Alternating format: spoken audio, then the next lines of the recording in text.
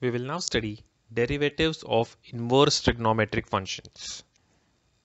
Here are some formulas for the inverse functions. Derivative of sine inverse x is 1 upon root of 1 minus x square. Derivative of cos inverse x is minus 1 upon root of 1 minus x square.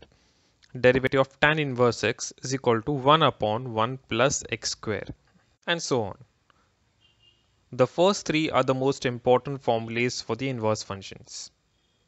Let us take our first example. y is equal to sine inverse of 2x. We have to find its derivative. Differentiating both the sides, I'll get dy by dx. You can see the derivative of sine inverse x is 1 upon root of 1 minus x square.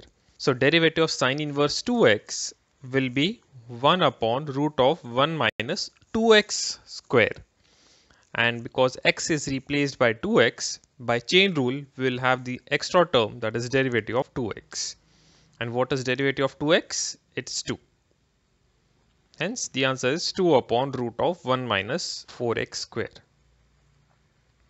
Now let's look at the second example. We have to find the derivative of tan inverse of log x. Now what is derivative of tan inverse x? It is 1 upon 1 plus x square. So derivative of tan inverse x is 1 upon 1 plus log x the whole square.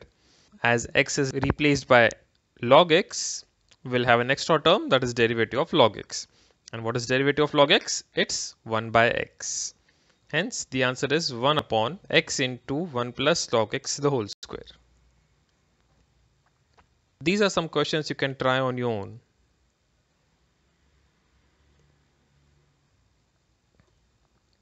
Now moving further, if you have a question of this type, y is equal to 2 cos x minus 3 sin x upon root 13, where inside the inverse function, there is a linear combination of numbers and trigonometric functions. So what we have to do in these type of questions is first of all, split the denominator into two parts, that is sine inverse of 2 by root 13 into cos x minus 3 by root 13 into sin x.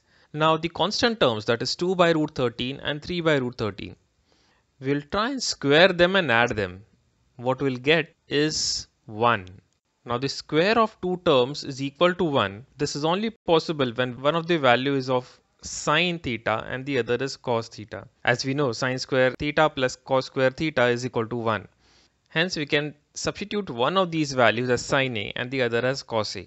Now substituting them in our equation, I'll get y is equal to sine inverse of 2 by root 13 is taken as sine A. Hence it becomes sine A cos x and 3 by root 13 is cos A. The second term becomes cos A sine x. Now you can see this formula is of sine A minus B, sine A cos B minus cos A sine B. So if you can apply the formula inside the bracket, what I'll get is sine inverse of sine of A minus x sine inverse and sine gets cancelled and what is left is a minus x. Now you can differentiate both the sides. Derivative of y that is dy by dx. Derivative of a will be 0 as it's a constant term and derivative of x is 1 hence the answer is minus 1. So this is how we solve these type of problems. Now also pay attention why did I substitute 2 by root 13 as sine A and 3 by root 13 as cos A and why not the other way? Once you get the answer for this question, you'll be able to solve these questions on your own.